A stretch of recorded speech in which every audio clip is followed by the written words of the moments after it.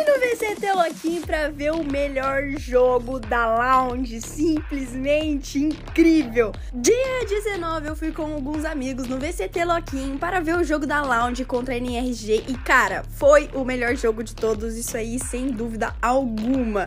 E eu vou contar um pouco da minha experiência aqui para vocês. Simplesmente chegamos no lugar e o lugar era imenso, todo mundo muito animado e meus amigos mais ainda. A gente recebeu esses balãozinhos aí que a gente não parava de bater. E eu tava simplesmente trajada com a blusa da Lounge que eu comprei lá no evento, que inclusive tava mais barata do que no site. E não podia faltar a toquinha da Killjoy pra honrar essa personagem que foi a mais jogada até agora no VCT. O maior ponto negativo é que eu tive 500 minis infartos lá, mas eu acho que isso que deixa o jogo mais gostoso e mais interessante, né mesmo? Mas você está ligado que no final não tem como, né? Deu lá onde faz o